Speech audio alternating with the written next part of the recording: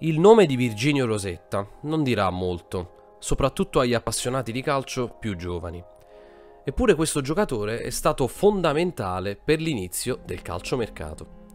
Era da poco finita la Prima Guerra Mondiale, era l'epoca dei grandi sconvolgimenti e delle grandi imprese, e lo sport recitava un ruolo di prim'ordine nella ricostruzione dello spirito dei cittadini provati dal conflitto.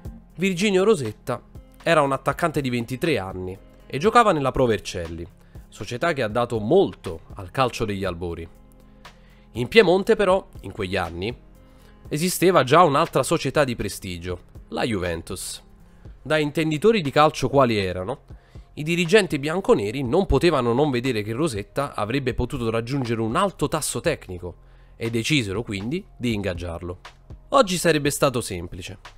Vedo un atleta, contatto la società e poi il suo procuratore, almeno così dovrebbe avvenire, e poi in seguito formulo l'offerta. Ma i regolamenti di quegli anni erano molto rigidi.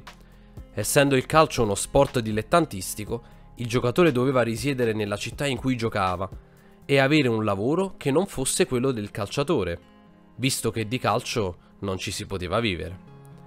L'attaccante però scalpitava. L'interesse della Juventus rappresentava un vero onore. Dall'altra parte però la Provercelli era certa che, visto che il giocatore abitava e lavorava in città, non potesse di certo cambiare casacca.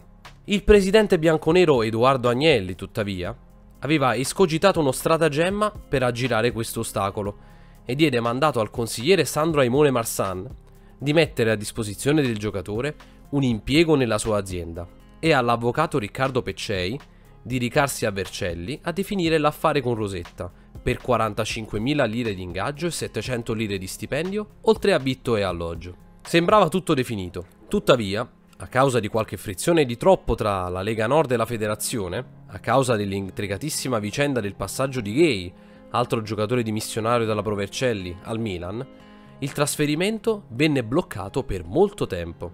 Poi però tutto si risolse e Virginio Rosetta divenne un giocatore della Juventus e, a sua insaputa, il primo di un'interminabile serie di trasferimenti che presero poi il nome di calciomercato.